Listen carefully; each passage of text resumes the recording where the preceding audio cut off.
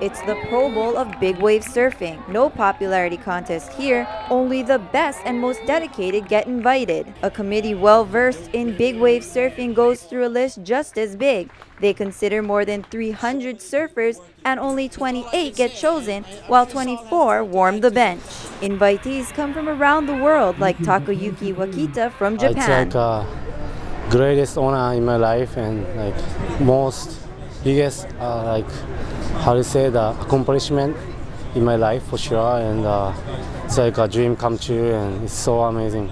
Wakita knows what it's like to take the drop, but not a drop as heavy as Waimea.